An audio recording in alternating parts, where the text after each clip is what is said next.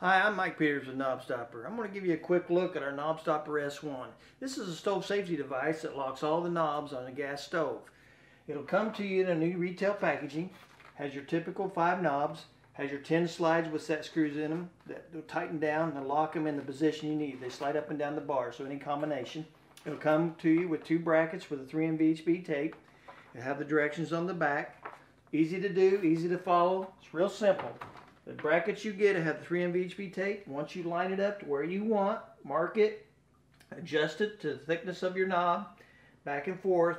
Screw this down, has a little lock nut, lock it in place. Once it's locked in place, attach it with 3M VHB tape. Now your bar's on there. You're good to go. You're locked and good to go. It's that simple.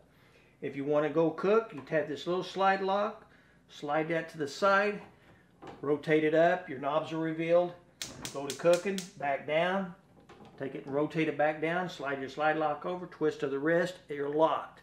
And also, if we take this thumb screw out, we also have a metric socket screw that goes down, it's recessed with an Allen wrench that actually locks it. Without that key, nobody can get into it, which is real helpful people with dementia and stuff like that. You want to lock the stove up permanently, and older kids too, if you want to keep them out.